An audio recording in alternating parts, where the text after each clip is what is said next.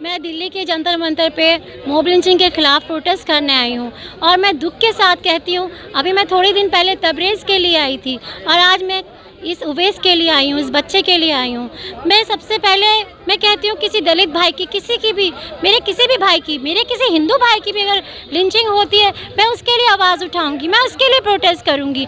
ये बच्चे छोटे से बच्चे हैं। इन लोगों ने दुनिया में अभी कुछ नहीं देखा। इनको किस जुर्म में मार दिया गया?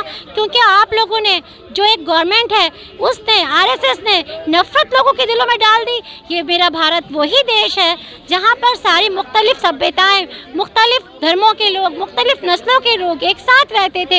हमेशा एक दूसरे के दुख सुख में खड़े रहते थे, एक दूसरे के काम आते थे।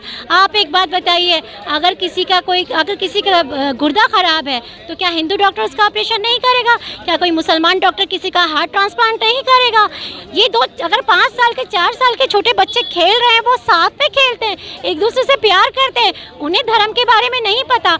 उन्हें कौन बताता है? उन्हें यही यही यही पॉलिटिकल पार्टीज़ उनको बताती हैं। ये गलत है। देश को मत बांटिए। देश को बर्बादी के रास्ते पर मत ले जाइए। इसराइल अरब मुल्कों को खा गया। इसराइल हमारे देश में घुस इसराइल ये सब नीतियाँ अपना रहा है। लोगों को यहाँ एक बाज़ार चाहिए। लोगों को यहाँ पे, यहाँ फ़लस्तीन नहीं बन सकता, क्योंकि हम अपने भाइयों के साथ सब खड़े हैं, दिलो जान से खड़े हैं। हम ये प्रोटेस्ट करते रहेंगे। अगर आप लिंचिंग नहीं रोकेंगे तो हम प्रोटेस्ट करते रहेंगे, पर हम गांधीवादी लोग हैं। हम अमन के साथ प्रोटेस्ट करेंगे। हम भूख हड़ताल पे बैठ जाएँगे। मगर हम झगड़ा नहीं करेंगे।